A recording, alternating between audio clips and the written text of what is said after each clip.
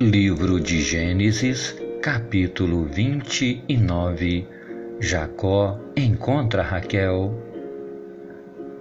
Jacó ainda estava falando com eles quando Raquel, que era pastora de ovelhas, chegou com os animais do seu pai. Logo que Jacó a viu com as ovelhas e cabras do seu tio Labão, ele foi e tirou a pedra da boca do poço e deu água para os animais. Depois ele beijou Raquel e, muito emocionado, começou a chorar e disse: Eu sou parente do seu pai, sou filho de Rebeca. Raquel foi correndo contar tudo ao pai. Ele ouviu as novidades a respeito do seu sobrinho e logo saiu correndo.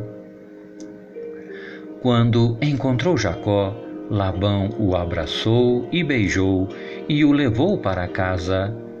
Jacó lhe contou tudo o que havia acontecido. E aí Labão disse: Sim, de fato, você é da minha própria carne e sangue.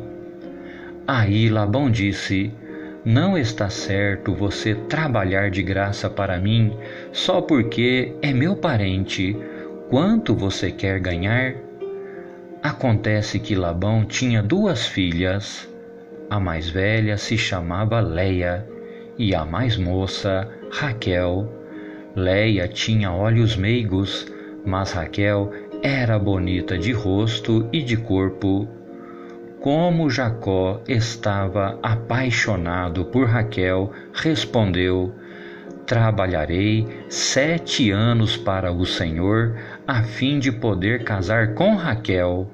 Labão disse: Eu prefiro dá-la a você em vez de a um estranho. Fique aqui comigo.